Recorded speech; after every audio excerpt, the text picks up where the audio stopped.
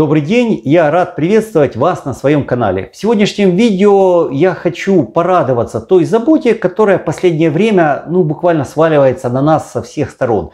Я сколько живу, не помню, чтобы правительство, причем это происходит во многих странах, не только в одной, как бы все идет под э, одну гребенку во всем мире. Я вот не помню, чтобы правительство так о нас заботилось. И на мой взгляд, это отлично. Вот приятно чувствовать себя нужным, что люди о тебе думают. Вот может быть как раз э, многие ведь всегда ругали там политиков, ругали главы государства. Вот приятно, что может быть они все-таки услышали и, как говорится, взялись за ум. Ведь Смотрите, нам же предлагают сколько всего, даже вот основное, это спасение от главной проблемы, предлагают его бесплатно. Причем во многих странах за это дают какие-то плюшки, э, вплоть до розыгрыша квартир, смартфоны. Э, в некоторых странах победнее это какие-то денежные там премии, там выплачивания. Есть э, некоторые дают сертификаты, которые можно отоварить в каком-то супермаркете, купить необходимые вещи. Но это же замечательно. Или как вы считаете? Напишите, пожалуйста, в комментариях. Так вот, я с нетерпением жду, что правительства пойдут далее. Ведь есть такая проблема, ну, рано или поздно эта проблема, которая вот главная, я надеюсь, она решится, но ведь проблем-то еще, как говорится, ну, там непочатый край.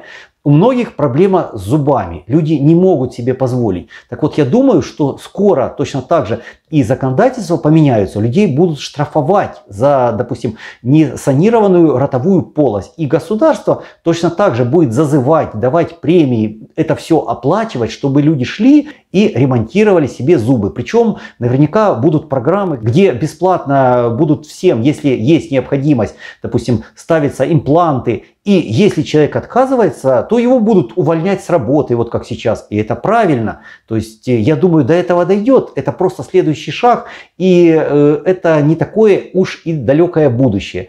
И далее, если продолжать эту тему, можно задать вопрос, а почему людей не штрафуют, не увольняют с работы, э, если они, к примеру, живут там не в своей квартире, или в их квартире какой-то уже устаревший ремонт, или вообще отсутствие такового. Можно же создать какие-то комиссии, которые будут ходить, проверять, предлагать от государства, вот, пожалуйста, деньги, вот вам э, на это время какое-то, скажем так, заместительное жилье, поживете, вот как показывают в каких-то передачах, что э, хозяева уходят, э, а бригады там показывают это все на камеру, меняют им квартиру, делают ремонт, и хозяева приезжают, у них все преображается. Наверное, я так думаю, эти программы это просто нам показывают, чтобы мы были не шокированы, как будет далее. И напишите, кстати, а в ваших странах, может быть, уже есть такое. Я же не знаю, это у нас в Украине, ну, пока еще остается. А может, в каких-то странах уже реально людей штрафуют за плохие ремонты, за то, что они отказываются жить в хороших квартирах.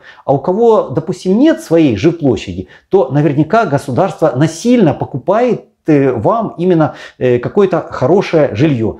Также напишите, возможно, в каких-то странах э, есть такая практика, что вам предлагают несколько раз в год, причем принудительно, отдыхать на различных таких фешенебельных курортах э, или, допустим, на каких-то оздоровительных курортах. Причем, если вы отказываетесь, за это можно легко полететь с работы, вам могут закрыть бизнес, Напишите, пожалуйста, в комментариях, поделитесь информацией. Ведь э, вы будете удивлены, но если в вашей стране так, то многие люди об этом не знают. И я думаю, они будут рады, потому что то, что начинается в одних странах, со временем приходит и в другие. Причем этот отдых, естественно, я даже могу об этом не упоминать, оплачивает государство. Напишите в комментариях, что вы думаете по этому поводу и как обстоит дело именно в ваших странах.